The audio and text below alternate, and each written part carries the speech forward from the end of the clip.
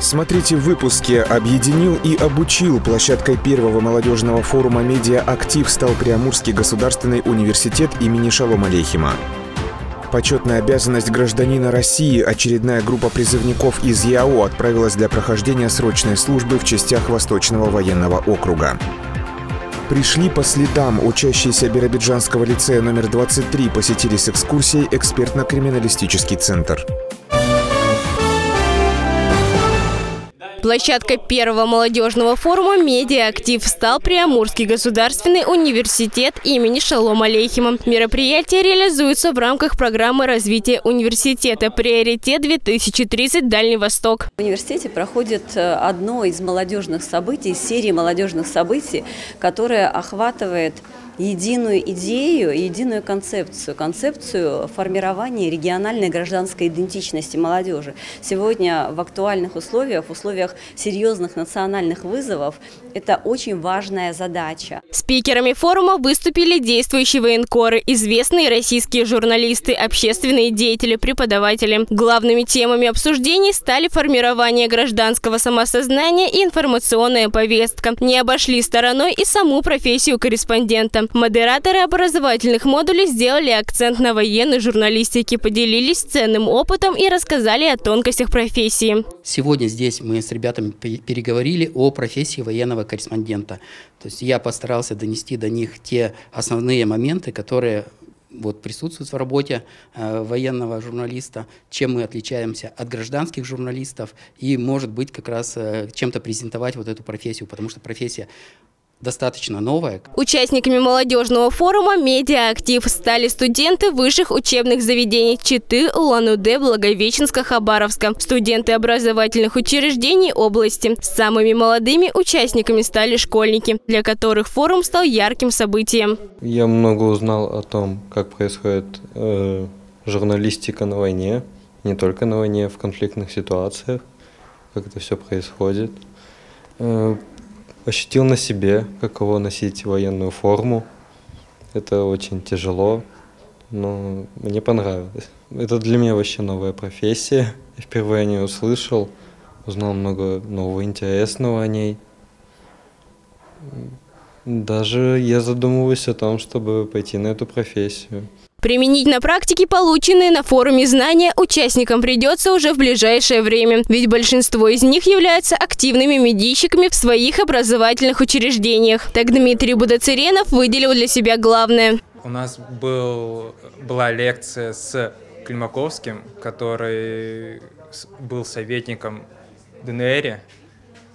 Также он рассказал много о СМИ, о гражданской позиции и обстановках и на данный момент сейчас только что прошла вторая лекция у Орлыгова, и он рассказал про медиа, анализ и как лучше развивать. Участники высоко оценили уровень организации и результаты двухдневного медийного актива. Программа «Приоритет-2030. Дальний Восток» позволяет задействовать в мероприятиях ведущих экспертов по самым различным направлениям, создает новые возможности для развития практикоориентированных программ, укрепляет межвузовское взаимодействие. Софья Геннатулина, Богдан Патрин, Новости 21. В еврейской автономной области продолжается осенний призыв на военную службу. Накануне медицинскую комиссию прошли 17 призывников из Биробиджана и районов автономии. Всех осмотрели медицинские работники различного профиля, а затем члены призывной комиссии вынесли по каждому из них решение о категории годности к воинской службе. Те, кто прошел все этапы, явились в назначенное время на сборный пункт для последующей отправки в войска. В стране начался призыв, знаете, с 1 октября по 31 декабря, и не исключение Еврейская автономная область. Тоже представляем. И с этой даты мы работаем с призывниками Ребята все в Еврейской автономной области будут проходить военную службу в Восточном военном округе. За пределы Российской Федерации и на специальную военную операцию привлекаться не будут. На сборном пункте с призывниками провели инструктаж и выдали военную форму, а также положенный набор вещей, необходимых для прохождения службы, банковские и сим-карты, принадлежности для личной гигиены. В текущем осеннем призыве это уже вторая отправка новобранцев в воинские части Восточного военного округа. Теперь им предстоит пройти курс молодого бойца, принять присягу и пополнить ряды военнослужащих армии России. Никита Натапов, Павел Славин, Новости 21. Биробиджанские школьники побывали на экскурсии в экспертно-криминалистическом центре УМВД России по ЯО. Гостями стали воспитанники детского клуба военно-патриотической направленности «Профессионал» 23-го лицея областного центра. Ребятам рассказали о том, для чего нужен центр и какую работу выполняют криминалисты. В рамках своей работы эксперты прибегают к более чем 20 видам экспертиз, среди которых баллистическая, трассологическая, автотехническая, ботаническая, химическое и другие. Исследование наркотических, психотропных и ядовитых веществ, а также вещественных доказательств, найденных на месте преступления, также входит в работу сотрудников центра. Гостей провели по лаборатории, показав оборудование, которое используется в работе, показали содержимое экспертно-криминалистического чемоданчика, имеющегося в арсенале у каждого специалиста центра. Помимо образовательной, экскурсия носила и профориентационный характер. Школьников проинформировали о том, как поступить в соответствующие учебные заведения, какие экзамены для этого нужно сдавать и какие требования предъявляются к кандидатам. Андрей Кирюшин, Новости 21. Смотрите далее. Поделились опытом мастер-класса для учащихся детской музыкальной школы и студентов Биробиджанского колледжа культуры и искусств провели артисты Государственного академического омского хора. Спасти семью и честное имя через жернова политических репрессий 30-х годов прошлого века пришлось пройти крепкой семье Бобровых. Мастер-классы для учащихся детской музыкальной школы и студентов Биробиджанского колледжа культуры и искусств провели артисты Государственного академического омского хора. Обучиться новому и перенять знания стало главной задачей для ребят. А сами артисты поставили для себя цель не только научить новому учеников, но и отточить их уже имеющиеся знания. Важно это потому, что это своеобразная мотивация для будущих, будущих поколений. Те э, ребята, которые связывают свою жизнь с культурой, для них представляется наглядный пример уже э, специалистов, те, которые в этой области не первый год. То есть они показывают красоту, мощь, силу, удаль.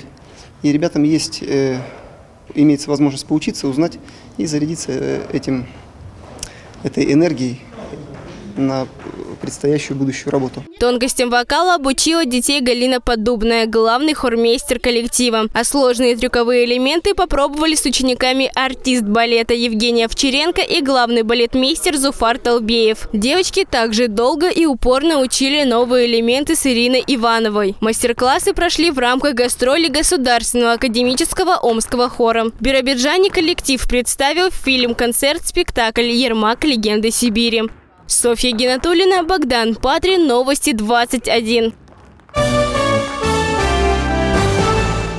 Исследователь истории казачества, общественный деятель Александр Бобров в программе «Народ хочет знать» на авторадио Биробиджан рассказал о событиях 30-х годов прошлого века, когда крепкая работящая семья попала под каток политических репрессий. Их случайной жертвой стал отец Александра Романовича. Страшные июньские события 1933 года положили начало мрачному 20-летию в истории семьи. Было возбуждено уголовное дело, которое называлось «Амурцы».